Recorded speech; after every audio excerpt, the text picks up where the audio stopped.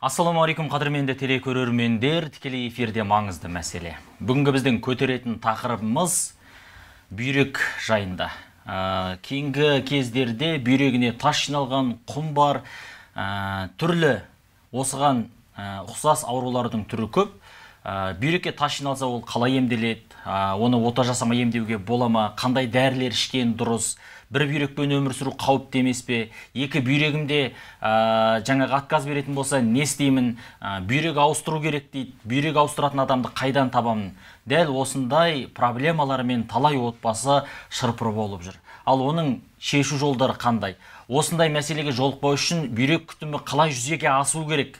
Дәл осы тақырып бүгінгі біздің тікелей эфиріміздің басты тақырыбы. Сондықтан да тікелей эфирімізге хабарласып сұрақтарыңызды қоюларыңызға болады. Ал енді біз студиямызға білекті ә, білімді ә, сан жылдық тәжірибесі бар мамандарды шақырып отырмыз. Сондықтан қапы қалмай эфирімізді бақылай отырыңыздар. Қонақтарды таныстырып өтейін. Ә, уролог андролог олжас иманғалиұлы. Қош келдіңіз. Екінші қонағымыз бірінші санаттағы хирург дәрігер руслан қасымбайұлы. Қош келдіңіз. Эфиріміздің тақырыбы мына бүйрек ауруы деді ғой. Оның ішінде әртүрлі аурулар кіреді. Ә, десе де біз ә, негізгі бүйрекке тас жиналу мәселесін қарастырып отырмыз. Ә, ол қалай емделеді? Соны бүгінгі эфирде кәдімгі нақтылап қандай тәсілі бар қалай емделген дұрыс қалай күтеміз соны өздеріңізбен екі жақтап үш жақтап отырып ә, талқыласақ иә бүйрекке тас жиналу дегеннен бастайықшы. Ә, бүйрекке тас жиналу деген кәдімгі тасты айта ма? Әлде ол бір ә, атауы бүйрекке тас жиналу деп атала ма? Бұл неден қалай пайда болатын дүние өзі? Ә, айтып кетсек жақсы тақырып ә, қозғап міне бүгін. Мынау ә, есеп тас ауруы деп мынау айтамыз жалпы осы түсінік мына бүйрекке тастың жиналуы. Енді ол тас бірден жиналмайды ғой ағзаға. Біртіндеп мынау өзіміздің мынау ағзамызға жиналатын тасты ол күнделікті біз қолданып жүрміз. Оның негізгі себебі иә. Yeah. мынау ә, кітаптарға үңілетін болсақ Ә, әлі толық бұның дәлелі жоқ. Бірақ айтатын болсақ бұның негізгі себебі мынау ағзадағы зат алмасудың бұзылысына байланысты. Ағзадағы зат алмасу болған кезде бұзылған кезде ә, сусыздану болуы мүмкін. Ә, соған байланысты мынау ағзадағы зат алмасу дегеннің өзін түсіндіру керек зат алмасу деген түсіндіріп кетейін ашып иә дұрыс. Мына біздің ағзамызды мынау ішкен жеген тағамымызды яғни қорытуымыз керек. Иә. Осы кезде біз не жеп жатырмыз не ішіп жатырмыз соған байланысты әртүрлі тағамдардың ә, әсеріне байланысты осы зәрде ә, мынау айтсақ болады ә, кристалдар пайда болады. Кристалл дегеніміз енді мынау тұнба тұнба ұсақ ұсақ мынау түйірлер пайда болады. Yeah. осы түйірлердің ә, бірнеше жылдан бері жиналуы бүйректің ішіне ол осы тастың пайда болуына алып келеді бүйрек сүзгі ғой. Бүйрек сүзгі. Өйткені біз ішкен жеген тағамымыздың мынау сұйықтығын барлығын сүзіп зәр қылып шығаратын әрине бүйрек. Фильтр дейміз қазір сүзгі. Yeah. Иә. осы сүзгінің ә, бұзылысы кезінде мынау зәрден ә, белоктың өтіп кетуі болмаса жаңағы мына кристалдардың өтіп кетуі ол зәрдің анализінен байқап жатамыз анықтап. Ә, бұл тастың бірнеше жылдан бері жиналуына байланысты симптомдар білінбей жатуы мүмкін. Қай кезде біліп жатамыз? Егер тас жиналып бүйрек жолынан шығып мына несеп арқаға тұрып қалған кезде адам ауру сезім сезеді. Яғни қатты ауру сезім болады. Есеп тас ауруының бірінші белгісі қатты ауру сезім байқалады. Оны адам өзі білмей байқамауы мүмкін. Тексеріс бүйрек тұсы ауыра ма қай жері ауырады? Бүйректің тұсы мына қуыққа баратын жол. Несебардың бойына тұрып қалса сол жері ауырады. Ә, ерлердің ә, бүйрек тас ауруы байқалатын болса бұл жаңағы ума дейміз ғой соның тұсына дейін береді. Мынау шап аймағына дейін береді ауру сезімі. Бел тұсында болады. Мына тастың ә, тұрып қалған жолына байланысты болады. Жоғарғы несебағардың бөлігінде ма ортаңғы бөлігінде ма төменгі бөлігінде ма? Соған байланысты ауру сезімі әрқалай болып кездеседі. Осы кезде байқап жатамыз. Өкінішке орай несеп тас ауруларын ә, біз кеш байқап жатамыз. Өйткені ә, енді жылына бір бір рет мынау медосмотр дейді ғой әлгі жергілікті емханалардан тексерістен өтіп тұру керек. Енді ол өтіп тұратын адамдар бар өтпейтін адамдар бар оны мысалы. Ер азаматтар өтпейді ер адамдар енді адам құнттамайды мысалы. Жүре береді ағзаға тас байланып сол тұрып қалған кезде ауырған кезде барамыз ғой. Сол кезде байқап жатамыз таста бар екен. Осы тастың әкелуіне айтып кетсек әртүрлі себептер. Тамақтанудың өзі мына әзір қаптап кеткен фастфуд иә. Енді жеп жатқан тағамдарымыздың енді арасында ә, осы тасты пайда болатын ә, кристалдардың пайда болуына глутамат қышқылының одан кейін мына сусыздану ағзаның суды көп ішпеуіне байланысты. Ә, ағза мынау ә, суды көп қолданбайтын болса ол әрине ол жерде мынау ә, водно солевой дейміз яғни тұзды су ә, алмасуы Иә. бұзылады. Осы кезде ағза сусызданғаннан кейін не істейді? Сол жердегі ә, мынау ұсақ жиналған кристалдарды тасқа айналдырады. А кептіреді ғой. Кептіреді жаңағы соны шөгінді пайда болған кезде сол тастар үлкейіп жаңағы ә, үлкен көлемді тас көрсетеді. Ол ұсақ кезде мынау яғни құм деп айтамыз ғой бүйректе құм болыпты дейді. Осы құмның ә, сусыздануға байланысты жиналуы тас, тас қалып кетеді м. енді бұндай жағдайда бізге сонда көбірек су ішіп отыру керек па жаңағы уролог мырс айт- айтпақшы. Негізі бұл ә, себебі әлі толық анықталмаған бірақ бірнеше себептер бар. Мына су және минералды тұз алмасуынан со, со бұзылу, бұзылу зат алмасу деп жатыр ғой. Иә. бұл минералдардың ішіне не кіреді минералдардың ішіне жаңағы кальций фосфор Иә. осы алмасу және ішкі секреция бездері дейміз бізде. Мына гипофиз мына қалқанша асты безі бүйрек үсті безі деген осы осылардың жаңағы қызметі бұзылған кезде сол кезде осындай ә, ауытқулар алып келеді. Ә, сондықтан ә, бұ- бұны тұрақтандыру үшін дұрыс айтады жаңағы сұйықтықты біз көп ішуіміз керек. Ә, одан кейін жаңағы ішкі секреция бе- бездерін зерттейтін эндокринологтарға көруіміз керек. Сондықтан ә, әрбір жыл сайын жаңағы профосмотр дейміз алдын ала зерттеу содан өтіп тұруымыз керек. Біздің ауруханаларға осы несеп тас ауруымен жиі адамдар келеді. Ол жаңағы жиырма елу жастағы аралықта жиырма мен елу жас аралығындағы адамдар иә? Ер азаматтар в основном.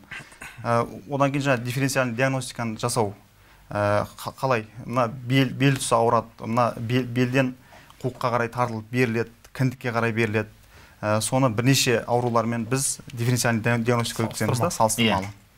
Оны жаңағы остеохондроз белдің ауруы ә, одан кейін жаңағы бұлшықеттердің қабынуы миозиттер солармен ажыратып ә, біз диа- нақты диагноз қойып жаңағы бүкіл тексер қосымша тексерістер ар- арқылы.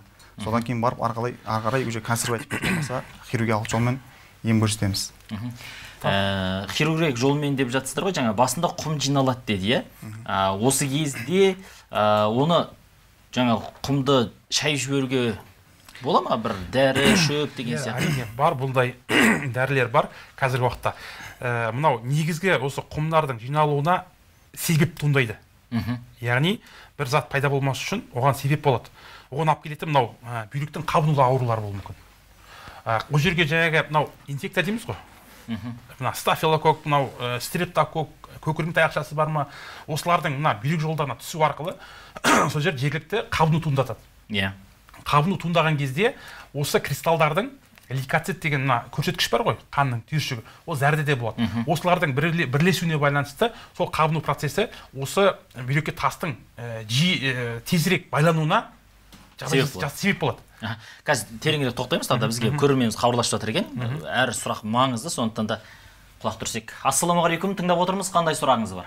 Түркістан облысы О- отырар ауданы отырар бөлімшесінен звондап тұрмын ал енді біздің ауылдың адамдарының барлығы бүйрекпен ауырады біздің ауылда жаңағы суы темір тотығы көп деп айтып еді сонда да әйтеуір басқа су жоқ қой ішетін сол суды түсініп жатыр өткенде белім ауырып неғылып әйтеуір кішкене емдегеннен кейін неғылдым соншалықты сол судан бұл аузының несі темір тотығы көп дейді зиян ба зиян емес па соны айтып беріңіздерші аха бәрекелді бәрекелді сұрағыңызға рахмет басқа енді- суға байланысты бола ма соған байланысты айтып кетейін ағамыз дұрыс айтып отыр көп жағдайда өкінішке орай мынау ауылдық аймақтарда шалғын ауылдарда ә, судың мынау тазартатын фильтрлер жетіспеушілігіне байланысты ә, көп жерде мына судың құрамында ә, судың астық тотығы мысалы көп болуы мүмкін хлордың көп жиналуы болуы мүмкін. Соған байланысты ағзаға кері әсерін тигізіп жатады. Әрине бұны ә, мынау фильтрден өткізілген тазартылған сулар болса ә, тіпті жақсы болар еді. Өйткені ол ағзаға түскеннен кейін ол шөгеді ағзада. Бүйректің ә, ішіне шөккеннен кейін бұл жерде ә, тастың жиналуына бірден бір себеп алып келеді. Судың өзіне де көңіл бөлу керек. Қандай су қабылдап жатсыз оның минералы ішіндегі толық па ә, мысалы ә, лас сулардың өзі ағзаға осы тастың пайда болуына бірден бір себеп алып келетін себебі. Яғни ол кісілерге суларын кәдімгі фильтрден өткізіп ішкен дұрыс. Енді ол кісілер біліп отыр ғой темір тотығы көп дейді. Расында темір тотығы дегеніміз жаңағы бүйрекке тас жиналатын элемент па? Иә. Бүйрек анау сутек астың тотығы мынау бүйректің құрамында тастың жиналуына алып келетін бірден бір элемент. Былай айтқан кезде химиялық процесс. иә әрекеттесу арқылы алып келеді. Онда ол кісілерге әр суды егер біліп отырған болса кәдімгі фильтрді үйге орнатып ә, сол арқылы суды ішкен дұрыс сияқты иә? Қалай да егер расында сондай ақпаратты растаған болса зерттейтін мамандар. Ә, жаңа сөзіңізді бөліп жібердім. Ә, жаңа ұсақ тастарды шайып жіберуге бола ма дегенде өзіңізді толықтырып өтсеңіз болады енді хирург ә, тастардың жаңа жаңа тастардың өзі түрлеріне байланысты жаңа оксалаттар ураттар ә, нитраттар ә, солай бөлінеді одан кейін жаңа оның мөлшеріне байланысты ә, бір сантиметрге дейін тастар олар кіші тастар деп айтылады ол кіші yeah. Иә. тастарды негізінен жаңағы ультра толқынды волновой терапияда увт сонымен үгітіп жіберуге болады болмаса ол жаңағы бір, бір, бір сантиметрге дейін тастар ә, кіші тастарды ә, көп сұйықтық ішіп ә, адам секіріп ә, былай жолмен түсіріп жіберуге де болады секіріп көп сұйық ішу деген қалай ол? кәдімгі секіру керек па? Иә сұйықтықты көп ішіп тас нөл бес сантиметр болатын болса бір сантиметрге жетпей одан кейін жаңағы несеп ағарда мочеточник дейді ғой ең төменгі бөлімде тұратын болса жаңағы спазмолитиктік дәрілерді ішіп ә, сұйықтық ішіп қарбыз жеп болмаса сол мочегонный дейді ғой жаңағы зәр айдайтын. Зәр айдайтын. Иә сол сұйықтарды ішіп ә, көп секіретін болса ол жаңағы ә, жаңағы қуықтан түсіп кетуі мүмкін. Бүйректегі тас ол бүйректе жұмсақ болады шыққан кезде қатып қалады деген рас па ал енді енді бүйректегі тас құрамына байланысты негізі плотность дейміз ғой мына иә. тығыздығы тығыздығы әрқалай болады тастың. Ол іштегі шыққан таста сыртқа шыққан кезде де ол тығыздығы сол бірдей болады. Ол тас кейбір жаңағы айтып отқан әріптесімнің айтып отыр ғой кальций тастары жаңағы оксалат тастары жаңағы ураттардың солардың құрамына байланысты болады тастың тығыздығы. Көбінесе қазір кездесіп жатқан тастар оксалат тастар оксалат тастарының ә, яғни мынау бір сантиметрге дейін ә, шығарып жіберуге болатын себебі мынау несебағардың өтісінің яғни көлемі бір сантиметрді құрайды. Сол себепті осы бір сантиметрдің көлеміндегі тастар зәр жолмен шығып кетіп жатады. Ә, егер де өздігінен өздігінен иә мынау сұйықтықты көп қолдану арқылы іс қимыл әрекетпен қозғалыс арқылы сонымен қатар тасты ерітетін дәрі дәрмектерді қолдану арқылы сыртқа шығаруға болады. Кезек күйінде шыға ма енді бұл үгітіліп шығатындар бар. Анау тастың мынау сыртқы пішін алатын болсақ ол тегіс емес қой. Иә. Тегіс емес болғаннан кейін бұл несебағардың бойын қабырғасын жыртады жарақаттайды. Жарақаттап шығады. Жарақаттағаннан кейін бірінші симптом пайда болатын. Ә, зәрде мынау қызыл түсті түйіршіктің пайда болады иә? Қанның пайда болуы. Осы бірінші симптом болып саналады. Одан кейін ауру сезімдер болады. Осы кезде біз анализ жалпы анализ алған кезде байқаймыз. Ә, лейкоцитің қандай болуы жаңағы ә, не эритроциттің неге шығып жатқанды анықтап жатады енді көбінесе осы егер жұмсақ тас болатын болса ол шығу оңай болады. Үгітіліп дәріге еріп шығып кетеді. Ал енді тығыздығы өте жоғары деңгейде болса мың жарым екі мың одан да жоғары тығыздықта болатын болса ол әрине ол өздігінен шықпауы мүмкін. Ол ана жолда тұрып қалатын болса несебағардың бойында әдімгі бұлшықеттер енді спазм яғни жиру үшін сыртқа. Осы жерде тұрып қалып ауру сезімді тұнытып жатады. Бүйректің ішіне зәрдің жиналып қалуы сыртқа шықпауы гидронефроз жолды деп жатамыз. Иә сол жол жауып қалғаннан кейін бүйректің іші ісінгеннен кейін ол ауру сезімді туындатады ол кезде әрине өздігінен шықпаған тасты ары қарай ә, мынау иә хирургиялық жолмен мынау сырттан сындыр айтты ғой әріптесім сырттан сындыратын ә, ударно волновой терапия дейді яғни тасты сырттан сындыруға болады. Және де лазерлік аппараттың көмегі арқылы үрпі жолынан салып тасты сындырып сыртқа шығарып хирург ретінде өзіңіз ота жасайсыз ғой енді. Ә, жаңағы толқынды лазерлі және кәдімгі кесу арқылы да жасай ма? Қайсысы қандай жағдайда жасалады қайсысы қауіпті ертең ә, ол отадан кейін адамға кері әсерін береді. Қайсысы бермейді. Немесе ә, тасқа жиналған кезде қай түрін тездетіп пайдаланған дұрыс? Оны жаңағы тастың тығыздығына одан кейін жаңағы көлеміне байланысты операциялық жолдар таңдалады. Егер жаңағы тастың ә, тығыздығы ә, жұмсақтау болатын болса ол жаңағы ә, жаңағы ультраволновой терапиямен яғни толқынды соғу арқылы оны езіп үгітіп жіберуге болады. иә. Ал егер жаңағы коралловый тастарда болады қатып қалған көлемі үлкен болатын болса оны жаңағы традиционный метод дейміз ғой жаңағы ашып кесіп жаңағы нефролитотомия деген болады жаңағы бүйірден кесіп сол жақтан аламыз. Ә, негізі тастың несеп ағарда болмаса бүйректің өзінде тостағаншаларында түтікшелерінде болады соған байланысты ә, жедел болмаса жаңағы жоспарлы түрде операция болады. Жедел болған кезде жаңағы жаңа әріптесім айтпақшы гидронефроз болып асқынып сонымен асқынып болмаса ауру сезімі дәрілерге мүлдем берілмей жатса ол кезде жедел түрде аламыз. Ал егер жаңағы ә, дәрілерге көніп ә, болған кезде жоспарлы түрде жаңағы плановом порядке дейді ғой? Жаңағы порталмен. Сондаймен жасаймыз. Ә, жүктілік кезінде бүйрегінде тас жиналған болса ә, ол емдеу кішкене қиындау дейді осындай кезде не істейді?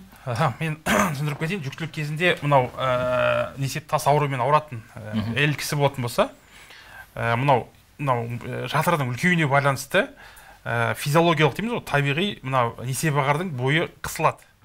Соған байланысты тастың ә, сыртқа қарай шығып кетуі қиындық туындатып жатады. Осы кезде ә, әрине бұл ә, уролог дәрігерлердің шарасына байланысты мына ә, стенд деген бар стенд катетер. Яғни несеп ағарды бойына ә, қуық пен бүйректің арасына ә, арнайы ә, түтік қояды.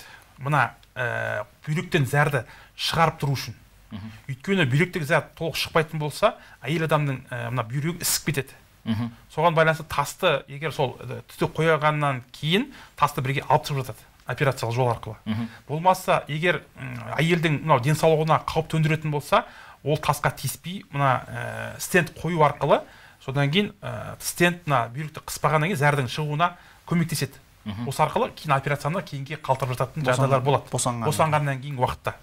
Ә, өйткені ә, енді бүйректен бірінші сақтап қалу керек қой зәрдің сыртқа шығуын қамтамасыз ету керек бұл жерде. Отток мочи дейміз яғни бұның ауыртпалығы қандай? Ауыртпалығы мынау ауру сезімі қатты болады әйел кісілерде. Мынау толғақ сияқты келіп жатады. Сол, сол себепті ана бүйректен зәрдің толық қысылып шығуына байланысты осы аурулар туындайды. Ертеңгі күні сол зәр сыртқа шықпайтын болса егер қалып кететін болса сол жерде сол жерде жергілікті жердің қабыну процесі болады. Өйткені сол жердегі зәрдің бойында мынау инфекцияның түсуіне байланысты лайлануына байланысты бүйрек іріңдеп кету қаупі бар. Бүйректің іріңдеп кететін болса ол ары қарай әрине асқыну. Бізде операция жасап жүктілік түзетін жағдайлар кездесуі мүмкін. Соған байланысты бұның өте жауапкершілігі жоғары. Екі қабат кезде міндетті. Түрде бәрекелді қазір тағы бір осыған байланысты сұрақ қоямын бірақ оған дейін тағы бір көрерменіміз хабарласып жатыр екен. Қайырлы кеш сізді тыңдап отырмыз. Саламатсыздар ма? Саламатсыз ба? Саламатсыз ба? Менің сұрағым мен ең мүсілі келіншекпін да. Сегіз айлық қызым бар. Осы жақында бір апта узиге түскеннен майда тастарыңыз бар деді да соны қалай емдеуге болады? Емізулі кезінде жақсы түсінікті екінші телефон бар екен. Сұрағын тыңдасақ. Қайырлы кеш. Тыңдап отырмыз. Ассалаумағалейкум. Уағалейкум ассалам есімім нұрлыбек менде андай жағдай болады да кейде бүйректен бесік ұстап көтеріліп қалатын кездер болады. Бірақ енді лишний барып қаралған емеспін да ол редко болғаннан кейін ше неден болады соны айтсаңыздар жақсы сұрақ түсінікті. Екеуіңіз екі сұраққа жауап берсеңіздер. біріншісіне мен жауап беріп кетейін. Мынау ем үзілу кездегі мынау әйел кісі айтып отыр ғой бүйрегімде тас байқалды қалай емдесем болады. Әрине бұл жерде қандай да бір препаратты қолдану ол ананың сүті арқылы балаға берілуі мүмкін. Соған байланысты егер де бұл кісінің өміріне қауіп төндіретіндей яғни ауру сезімі ә, бол, жиі болатын болса қайта ауырады ауыра, ауыра беретін болса әрине өкінішке орай өзде дәрі дәрмектерді қолдану керек болады. Мынау уросептик дейміз яғни шөптен жасалған дәрілер бар. Ал егер ә, бүйрегіндегі тас қатты мазаламаса оны қазір тиісудің қажеті жоқ. Не себепті? Өйткені емізілу кезінде сол тастардың жылжып кетуі мүмкін. Орнынан. Осы кезде несеп ағардың жолына тұрып қалатын болса ол одан арман ауру сезім туындатып ары қарай ә, операциядан бірақ шығуы мүмкін. Соған байланысты емізу кезінде ә, тек қана шөпті дәрілерді керек кезде ғана қолдану керек егер мазаламаса кейін емізу шыққаннан кейін де бір жастан асқаннан кейін ары қарай уже су ішсін таза су қолдану яғни жиі сұйықтық қолдану арқылы бүйректің ә, функциясы жақсарады операторлар хабарласып ә, айтты. Жаңа үзіліп кеткен телефон бар ғой. Сол кезде қандай суларды ішкеніміз дұрыс? деген сұрақ қойды сіз су ішсін деп айтып отырсыз ғой. Қандай суларды ішкен дұрыс? дейді. Біз сатып алып жүрген тоғыз он литрдегі ана әртүрлі сулар бар ғой. Ә, минерал сулар деп аламыз ғой. Солар ішкен дұрыс па? Ә, үйдегі ана фильтрлерге суды сүзіп ішеміз ол дұрыс па? Краннан алып ішеміз дейді. Кейде мына алматыда мына шаңырақтағы артизонды су бар. Очередьте тұрады кезекте дұрыс. таңнан кешке дейін. Соның қайсысы дұрыс қалай ажыратамыз білеміз дейді. Енді сұрақ екен сондай сұрақ. Мынау ә, сулардың өзінде енді әрине бұл ә, біз кезінде айтамын ата бабамыздан құдықтан су ішіп жүрген су Иә. су ішіп алайыншы. Қазіргі көбінесе қолданатынымыз өлі су. Тоқтан су мысалы. Сатып алып ішеміз. Оның құрамындағы элементтер өліп қалуы мүмкін. Тірі су ішу керек. Яғни келіп тұрған суды тірі ә, фильтрленген су. Болмаса жаңағы артезиан суларды айтып жатырмыз. Өте пайдасы жоғары. Осы тағы қоса кететінім біздің алматы облысы мынау қойбын деген жер бар панфилов ауданында. Осы жерде мына жерден су шығып жатыр бұлақтан. Осы судың құрамында яғни әртүрлі элементтердің көп болуына байланысты минерал көп болуына байланысты осы бүйректегі таста шығарады екен құмдарды шығарады. Сол судың тазалығы мына минералдардың мына тасты ыдырату процесі болғаннан кейін судың көмегімен ә, менің өзімнің енді қабылдауымда болатын жігіттер айтып жатады осы суды алып келіп флягпен іштім бүгін осы сөйтіп едім мені тазартты бүйрегіме тас қалмапты деп иә ол ондай сулардың әсері бар өлі су ішкенше тірі су ішу керек айтқан кезде тасқа соғылып кристалданып әбден әбден тазарған сулар ғой Тазарған сулар, ол иә. толзай су болса шіркін сондай су ішкен дұрыс ауылдың сайдың суын пляктап әкеліп ішеміз уақыты суда жетпейді ғой нағыз Тірі су. тірі су ана бүйректі шайнекте болатын болсақ шайнек ә, кейбір суларда ә, шайнекте қайна қайна накип болады ғой жаңағы иә иә қақ иә. Ал егер жаңағы дистиллированный су- суларды пайдалануға болады жаңағы ол, ол жерде накип болмайды. Сондықтан жаңағы қақ болмайтын сулар ішуге болады. Енді қазір ә, иә қазір көп ә, шайнектердің ішінде кәдімгі кейбір шайнектерде қалың Қақтар болады. қақтар жиналып қалады ғой. Иә. оның қаупі жоғары дегенсіз ғой ол. Сол қауіп жоғары. дәл сол қақтар біздің бүйрегімізге жиналуы мүмкін одан кейін жаңағы бірінші көрермен жаңағы екінші сұрақ иә. Иә біріншісіне тоқталып кетейік кішкене қо- қосымша. Узиге түстім. Ә, жаңағы босанғаныма тоғыз ай болды деп жатыр ғой. Енді микро, узи микро, микролитиаз деп береді да жаңағы тұздарды солай көрсетеді. Ә, оны жою үшін жаңағы әріптесім айтып жатыр көп сұйықтық ішу керек дейді дұрыс күніне бір жарым екі литрлік су су ішу керек адам баласы. Жылы су ішкен дұрыс па? Суық су ішкен дұрыс па? Жылы су дұрыс. Жылы. Комната температура дейді ғой. Одан кейін жаңағы шөптен дәрілер шығып жатыр ғой жаңағы фитализин деген канифрон деген шөптен жасалған дәрілер бар. Оның ешқандай зияны жоқ. Одан кейін жаңағы бүйректің шайы соларды ішіп ішсе болады ол кетеді. Мхм арнайы аптекалардан алып ішсе иә кәдімгі аты жөні бар сұрауы бар өнімдерді. Әйтпесе бізде ең сұрауы жоқ аптекада сатылмайтын өнімдер өте көп қой. Иә иә әрине ең кө- ең құрығанда ана бүйректің шайы бар ғой бүйрек шайын ішу керек. Оның өзі де табиғи шөптен жасалған оның ешқандай зәр айдайтын қасиеті енді тағы айта кету керек бүйректің шайымен басқа урацептиктерді қосуға болмайды. Не урацептиктер ішу керек жаңағы айтып отқан дәрі дәрмек или болмаса жаңағы шөп бүйрек шайын ішу. керек. Өйткені мына дәрі дәрмектің құрамында мочегонный яғни зәрді айдайтын ә, не бар. Элементтер элементтер бар. бар. соның әсеріне байланысты екеуін бірге ішпей жеке ішкен дұрыс. А, жақсы. Екінші сұраққа жауап беріп өтсеңіз ә, бүйрегім мазалайды анда санда бірақ дәрігерге көрілмедім деді жігіт қой енді. Ең бірінші дәр, уролог дәрігеріне барып қаралған дұрыс. Өйткені уролог дәрігер бірінші өзі қарап ұстап жаңағы ұрғылау деген симптом поколачивания деген бар. Сонымен ұрғылап жаңағы қосымша зерттеулер яғни ә, қанның жалпы анализі зәрдің жалпы анализі биохимиялық анализдер одан кейін жаңағы узи мрт кт осы тексерулер арқылы анықтайды. Бірінші нақты диагноз қою керек. Диа- диагнозына байланысты ары қарай ем жүреді. Егер қандай да бір белгі беріп жатса ә, бізге- бір нәрсе бар деген сөз ғой. Бізге жүре бермеу керек деп ойлаймын енді. Бізге науқастар келеді ә, жаңағы в основном жаңағы түнгі уақытта түнгі үш төрттерде жаңағы кезекшілікте тұрған кезде бүктетіліп келеді. Мына оң жақ болмаса сол жақ бүйрегін ұстап адаммен мүлдем жаңағы контактыға түспейді. Ә, жаңағы мұздай тер ағады ә, жаңағы ауру сезімі өте қатты болады. Адский боль дейді ғой орысша айтқанда. Ә, со- солай келеді. Жаңағы одан кейін жаңағы зәрлерін алған кезде зәрдің құрамында қан аралас ә, зәрлер пайда болады. Сосын дәл осыған байланысты бізге телефон қоңырау келіп жатыр екен. Ә, сұрағын тыңдап алсақ өте бір ә, маңызды сұрақ сияқты. Қайырлы кеш тыңдап отырмыз. Қандай сұрағыңыз бар? Мен өткенде осы бүйректен тас төмен түсіп кеткен ғой қуыққа дейін Ә, сол тасты ә, ә, неде операция қылып алдырғанмын Ә, сол 15 күн болды стенд қалған ғой бойында сол стендтен қазір дәрет қанмен ағып жатыр қалай бұл не болады екен соны сұрайын деп едім түсінікті ма? Тағы бір телефон бар екен. Аха, тағы бір телефон бар екен. Екі телефон бірден тыңдап алайық. Қайырлы кеш. Сұрағыңызды қойыңыз студияға қосылдыңыз. Саламатсыз ба? Саламатсыз ба? Мен өт жайында қойып естіген едім. Өтімінде тас бар дейді да соны тек қана операция болады ма әлде басқаша еще дәрілермен емдеуге болады ма түсіруге? Мхм. Жақсы түсінікті. Алғашқы сұрақ. Ал алғашқы сұраққа жауап берсек енді мына ағамыз айтып отыр ғой ә, операция жасады жаңағы ә, уретрар жолы арқылы кіріп тасты сындырып сол жерден лазер арқылы алғаннан кейін ә, жаңағы стенд қойып кетеді несебағар жолына. Ол мына бүйрек жолындағы зәрдің жаңағы жүрісін жақсарту үшін. Бір ай көлемінде осы немен жүреді стендпен бір ай екі ай ә, одан кейін оны қайтып алдыру керек. Жаңағы зәрде қан болып жатыр дейді ғой. Ол ә, мына осы стенд катетер тұрған кезде ондай жағдайлар болады. Өйткені мынау ә, адамның бүйрегі қозғалыста жүреді қозғалыста болады ғой. Адам қозғалады жүреді сол кезде мына стендтің бойы несебақардың бойын яғни ә, травма яғни Жарақаттайды. Осы арқылы зәрге қан араласып шығады. Оның ондай қорқатын ештеңесі жоқ. Жалпы анализін та- тапсырып жаңағы дәрігеріне қайта барып көріну керек. Мхм. Ә, мынау стенд төмен түсіп кеткен жоқ па сол қалпында тұр ма соны ба- бақылау керек. Стенд дегенді қалай түсіндіресіздер ол? Қалай қойылатын стенд деген ә, айтып түсіндірсем мынау түтік. Ұсақ ұсақ үлкен ә, былай айтқан кезде жіпше сияқты түтік. Жан жағында тесігі бар. Мхм.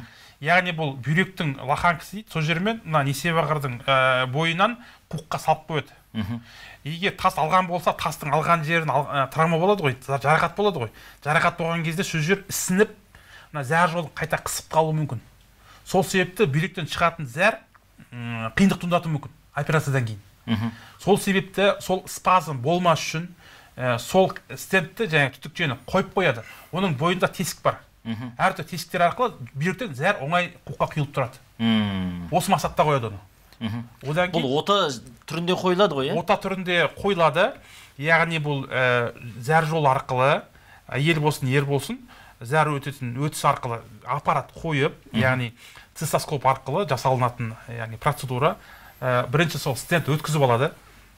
Соның бойындағы егер тас тұрған болса соны сындырып сындырып алғаннан кейін бері қарай орнына жаңағы стенд екеуі бірден жасалатын бірден жасалады тасталады артынан жаңағы Стенд қойып кетеді. қояды да шығып кетеді малоинвазивный метод қой иә анау жарақат аз болатын операцияның бірі ешқандай жер жармайды кеспейді тек Жүректің- қана зәр жолдар арқылы орнатады зәр зәр жолдар арқылы жүректің қан тамырына стенд қояды ғой сол иә. сияқты. Дәл бірдей сондай мына қан тамырға қойсам мынау жаңағы несеп Несеп есеп бойына ағарға қояды. кәдімгі бәрекелді түсінікті. Екінші сұрақ қойылған еді.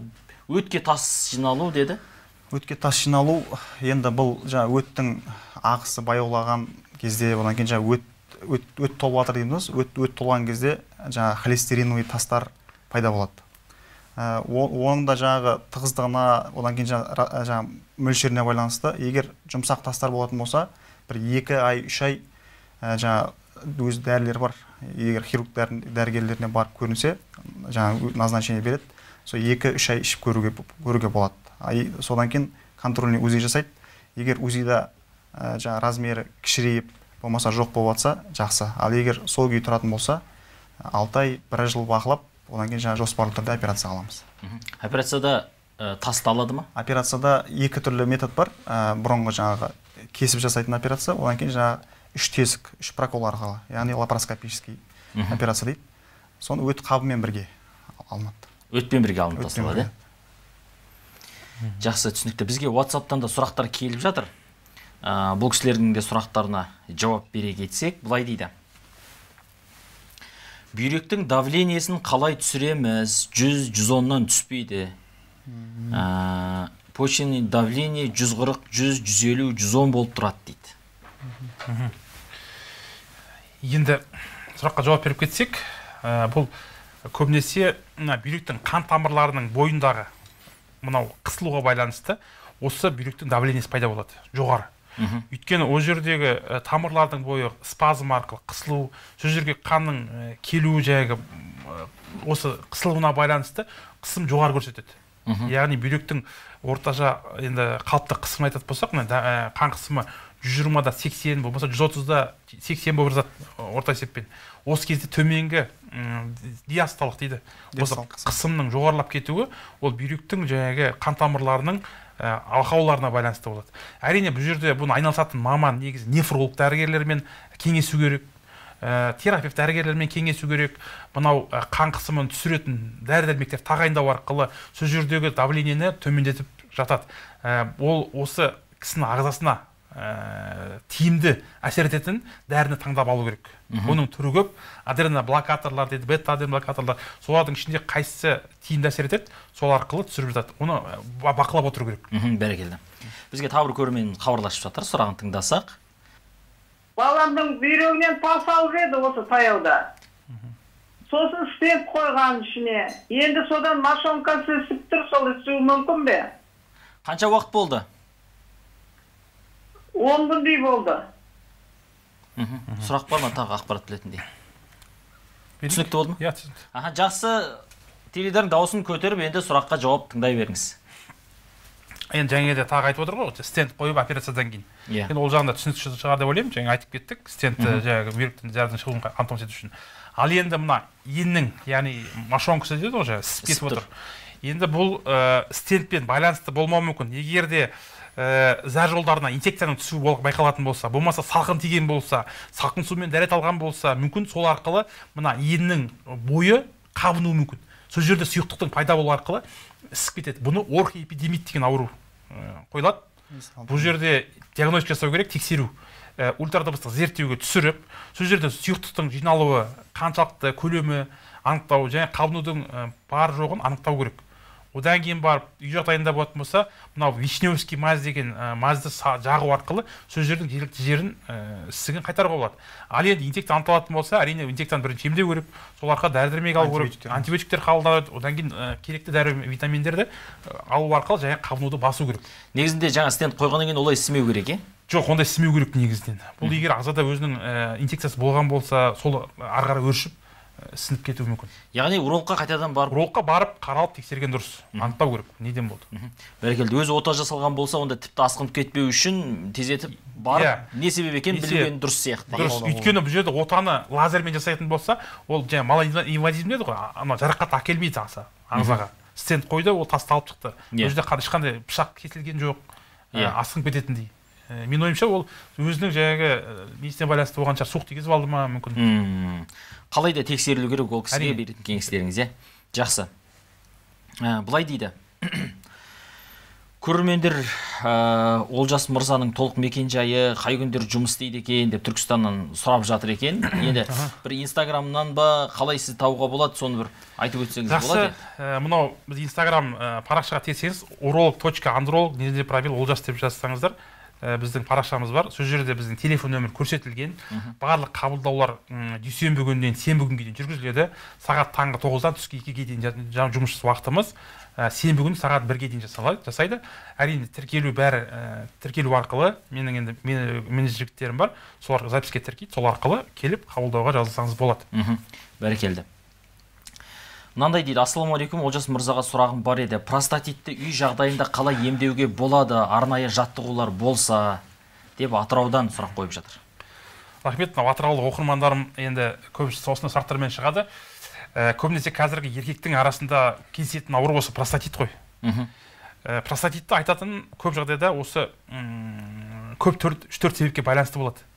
Мәселен бірінші салқын тигізіп алса суықтап қалған болса жолда қалып қалады мысалы қыстың күні айқын сыз өтеді осы арқылы қуық асты безі ісіп кетсе простата безі қабынады.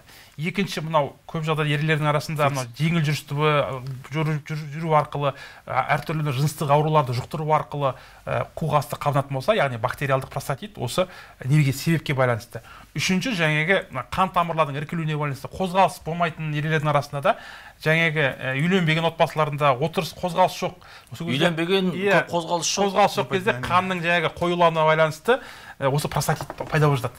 Енді простатит үйде емдеудің әдісі. Енді әрине ә, алдымен тексерістен өту керек бұл кісі. Ә, узи жасау керек. Өйткені бездің қаншалықты сіңгенін анықтау керек. Ә, мысалы болып жатады кейде мысалы ана дәріні іш мына дәріні іш дейміз ал ол кісіде рак болуы мүмкін. Мынау қырықтан асқан кісілер болатын болса міндетті түрде пса деген анализ тапсырады. Өйткені бұл онкологияны анықтайды. Егер де мысалы біз айтқан дәрілерді мысалы үй жағдайында беретін болсақ кейбір адамдарға егер ағзасында онкологиялық процесс болатын болса ол ана онкологияның кері әсері. өсіп кетуі мүмкін ары қарай. Сол себепті енді самолечениемен ә, айтқанда ә, айналысудың қажеті жоқ өз білгенімен. Тексеріске бару керек. Енді үй жағдайында атқа отырсын қозғалсын дұрыс тамақтансын. Ә, мынау упражнениелер бар арнайы жаттығулар бар. Кегель упражнениесі дейміз. Мынау приседание жаңағы қан айналымын жақсарту. Жамбас қуысында осы арқылы простатитті жеңуге болады. Мхм. Түсінікті. Қалайда бір тексеріліп одан кейін барып иә тексерістен өткізіп барып негізі ем қабылдаған дұрыс болады. бәрекелді бәрекелді ә, менің атым гүлнұр жасым отызда. Мен ә, глина және мел жеймін дейді. Оң жақ бүйрегім ауырады. Екі бүйрегім әрдайым мұздай жаурап жүреді. Сол сұрағым мел глина жегенім зиян ба дейді? Ол мел глина жеудің негізгі себебі бірінші жаңағы қанның анализін тапсырып көру керек. Бұл кісіде анемия болуы мүмкін. Егер анемиясы болса осындай басқа бір заттарды іздейді да. Жаңағы борды жейді жаңағы лайды жейді. Соны бірінші анықтап алу керек. Одан кейін жаңағы ары қарай тексеруден өту керек жаңағы узиге түсу керек. Одан кейін жаңағы бүкіл анализдерді тапсырып уролог дәрігеріне барып көру керек. Егер бүйрегі үнемі мұздайтын болса ауыратын болса. Бұл жерде енді бүйректе негізі бүйректің тас ауруында ә, бұлардың әсері бола ма? Жиналуы мүмкін бе осындай мысалы топырақ жегеннен тағы бор жегеннен деген сияқты ғой енді организмге байланысты. Организмде егер жаңағы бүкіл жаңағы водный солевой баланс мықты қанның pH деңгейі мықты болып тұратын болса ол жиналмайды. Ал тұқым қалайды бұл. Егер әкесі әкесінде шешесінде болатын болса балдарына қыздарына беріледі. Ал бір, біреулер бар жаңағы батпақты лайды жердегі суды іше- іше- ішеді бірақ онда тас болмайды. Өйткені оның организмі тұқымы гені мықты да. Соған ба- да байланысты тұқым қалайды мхм. Бәрекелді. Бізге көрерменіміз тағы бір көрерменіміз хабарласып жатыр екен. Сұрағын тыңдасақ. Қайырлы кеш. Қандай сұрағыңыз бар? Ә, менің өзім екі қабат жүкті әйел едім. Алты айлық балам бар ішімде. Бірақ бүйрек ауру бүйрегім қазір қатты ауырып жүр да. Врачтар маған канифрон дәрі берген еді. Бірақ ол әсер етпей жатыр. Дәрі шығаруым да аз болып жатыр. Басқа қандай ә, дәрі дәрмек или болмаса қандай ә, жаңағы жаттығулар жасасам болады? Қанша уақыт болды? Балаға теріс әсерін тигізбей ма? Қанша уақыт болды? Уже ішімде алты айлық балам бар уже біраз болды. Біразыңыз қанша уақыт енді айтсаңызшы. Бір екі айдай болды уже бүйрегім ауырып жүргеніне еще бүйректен давление пайда болды менде. Жақсы түсінікті. Екінші телефон бар екен соны тыңдап алайық одан кейін екеуіне бірден жауап берейік. Қайырлы кеш тыңдап отырмыз. Қандай сұрағыңыз бар? Саламатсыздар ма? Саламатсыз ба? Саламатсыз. ә, менің балам алты жаста еді. Ә, невропатологтарға апарып едім. Сонда да бір витаминдер берді оны әсер етпей жатыр. Ә, жасы алтыда төсекке жіберіп қоя береді. Мхм. Жақсы түсінікті. Оны қандай емі болады екен? Жақсы түсінікті. Енді мына давлениесі қарап бар отырсақ, көтеріліп кетеді деді. ә, алты айлық ә, енді іште баласы болатын әйел кісі болса ә, мынау болат анализдерін тапсырып көру керек. Яғни зәр анализін тапсыру керек. Өйткені ол жерде бүйректен қабыну болып жатыр ма? Дәрігерге көрсетілді канифрон іш деді бірақ Иә, ол ешқандай әсері жоқ әсер болмады иә. Олай болса мына бүйректің қысылуына байланысты болуы мүмкін. Жаңа физиологиялық урастаз дейді. Иә зәр де өзі аз шығады деді аз шығатын болса бұл мына ә, жатырдың мына несебаға жолын қысуына байланысты болып жатады. Бұл кезде әрине уролог дәрігерге тексеру керек мүмкін жаңағы стенд катетер қойылу керек. Осы арқылы мына бүйректің зәрді шығару шығаруын қамтамасыз ету керек. Осы кезде ауру сезімін басуға болады. Қалай тексерілу керек қой енді? Былай иә айта енді алмаймыз ғой. ә, уролог дәрігерге барып тексеріліп одан кейін барып іс шара қолдану керек. Өйткені енді зәрдің аз шығуы дұрыс емес қой. Бүйрекке зақым бүйрекке келтіреді. зақым келеді ертең иә жақсы. Екінші сұрақ. Алты жастағы бала невро, ә, невропатологқа барған бір ә, дәрі берген. Алты жаста ғой енді иә. төсекке жіберіп қоя береді. ол бүйрек ауруынан ба әлде бір неврологиялық? Көбінесе неврологиялық ә, неврологиялық тұрғыдан болады бұл нәрсе. Ә, сондықтан баланы жаңағы режимді сақтау керек қой жақсылап. Жаңағы қорқыныш жаңағы не- невропатологтар урологический сұрақ негізінде жауап беріп кетейін енді жақсы. Енді мынау ә, балалардың көбінесе төсекке жіберіп қоюы ә, кейбір балаларда мынау жеті жасқа дейін болып жатады. Мысалы алты жас жеті жас мектеп қабырғасына барғанға дейін ә, физиологиялық жағдайда кездесіп жатады. Ә, мынау баланың жаңағы ұйықтап қоюы жаңағы ұйқысын қимауы түн ішінде болмаса сұйықтықты түнде көп. ішіп қоюына байланысты қуықсыздап жәрі жіберіп қояды ал енді ә, ол жағдай ә, осы жастан асып мысалы жиі қайталанса болмаса жаңағы ол ұйықтап жатқан кезде түнде болмаса күндіз жіберіп қоятын болса әрине бұл нерв жүйесіне байланысты болуы мүмкін бірінші себеп. Екінші қуықтың мынау нейрогендік дисфункциясына байланысты болуы мүмкін. Болмаса жаңағы ағзадағы микроэлементтердің жетіспеушілігіне байланысты болуы мүмкін. Ә, урологиялық жаңағы қуыққа салқын тиген кезде ә, аяқтан сыз өтеді. Мысалы бала мысалы ә, бұтына жіберіп қою арқылы ұйықтап қалуы мүмкін.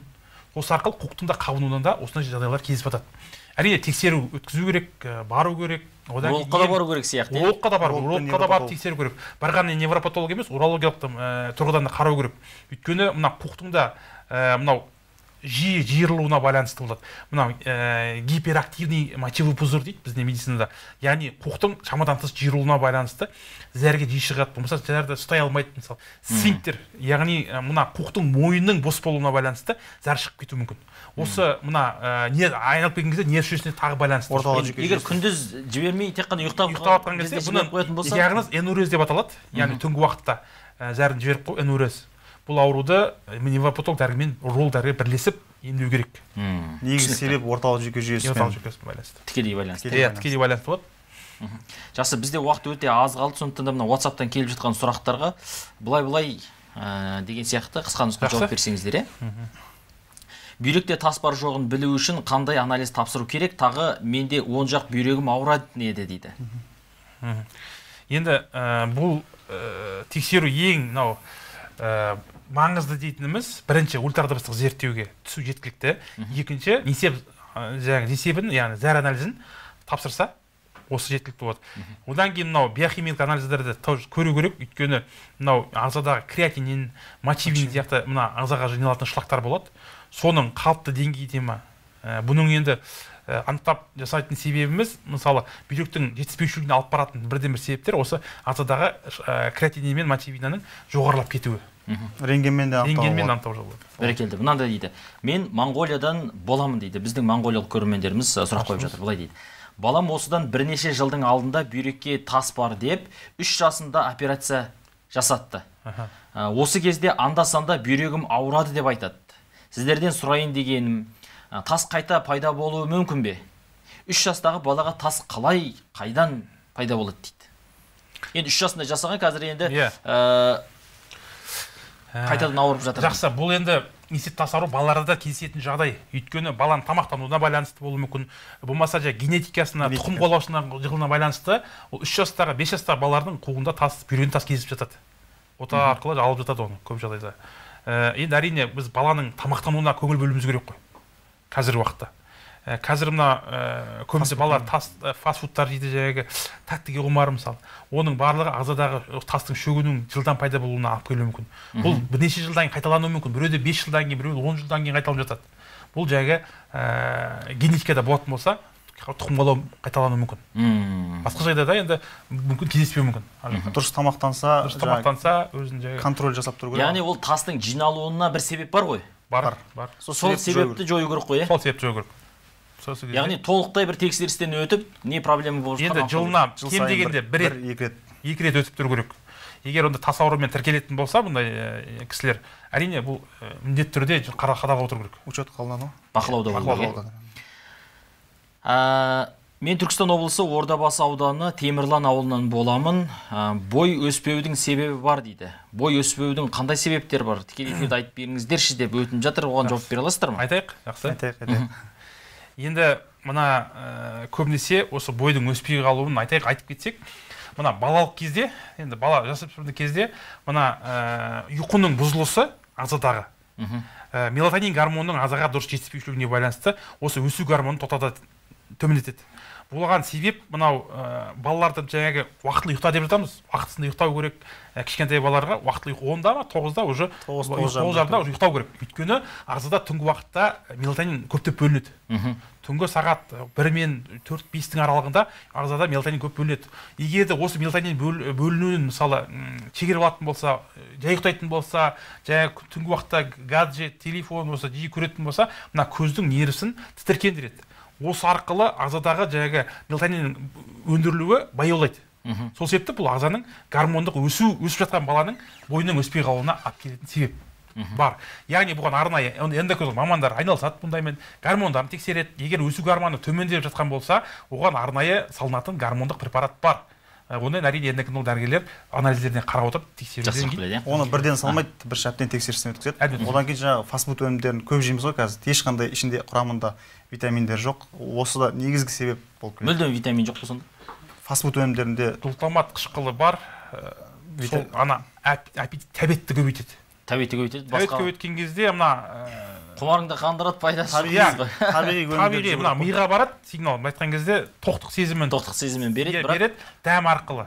одан кейін бірақ ешқандай- оның құрамындағы элементтер ағзаға ешқандай несі жоқ. Пайдасы жоқ газдалған ә, ұйықтау дегенге байланысты енді бала күнде дұрыс ұйықтамайтын болса ә, жаңағы мелатонин гормоны бөлінбей бой өспей қалуы мүмкін дедік. Ал Иә. енді ересек адамдар мысалы сіз бен біз сияқты адамдар ә, ұйқысы дұрыс болмаса мысалы ә, үнемі жиі түнге екі бірде ұйықтайтын болса ол ағзаға қалай әсер етеді?